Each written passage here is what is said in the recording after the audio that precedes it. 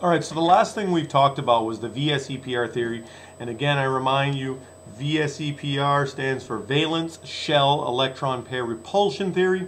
And again, it talks, it, what it does is define our geometry. It, it tells us that electrons want to get as far apart from each other as possible. So let's go ahead and take a look at what that all means and how that kind of works. Okay, um, first of all, what we need to see is how elements or get together to form compounds in these covalent bonds. So let's say we have H2O. H2O, all right? Now a hydrogen, due to the Lewis dot, has one valence electron. Now we have two of them, so since we have two of them, I'm going to go ahead and write two of them, each with one dot. And oxygen has six dots. So there it is, six dots. Notice, let me go ahead and change colors here just for purpose here. All right, notice that hydrogen has one available on each of them. Each, put this down, have one available electron to bond, okay? Oxygen has two available electrons to bond. The two that are already paired up aren't available for bonding. So it makes sense that the hydrogen and one of the oxygens and the other hydrogen and oxygen can get together to form a bond. Now, that's two shared pairs um, around each of the hydrogen and oxygen. So when we clean this up, we get our hydrogen and we draw a line to represent a shared pair, oxygen, and it's important not to forget our unsharing pairs, and then our other hydrogen. Notice that we have two different hydrogens. You want to think of these hydrogens as different atoms.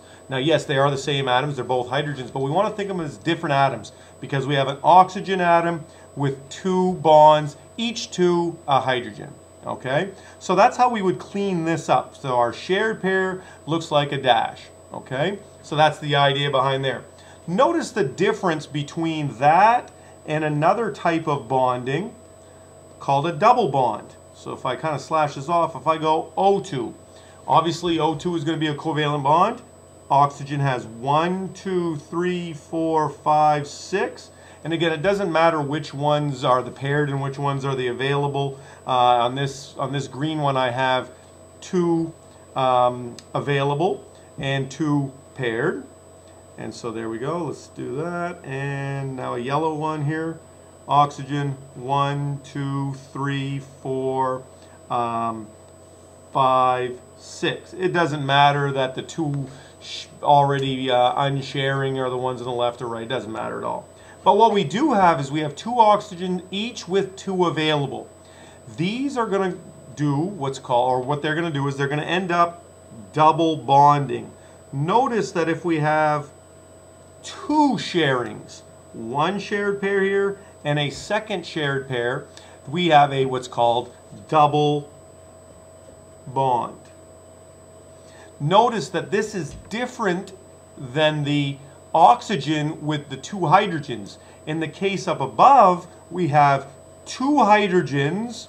Yes, there's a bond, but that's just one bond between a hydrogen and oxygen. And here's a another, its own bond. It's not double bonding to the same two things. Now we can have double bonds with different atoms. It's not like it has to be O with an O. We can have a double bond with an O and a carbon.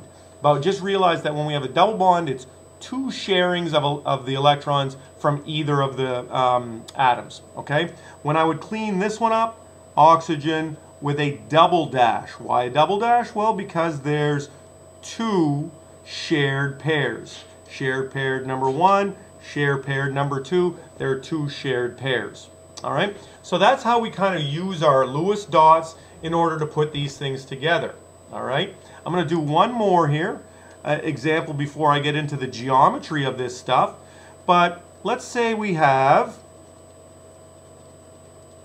okay, carbon um, with four hydrogens, and you're going to see this as an example later.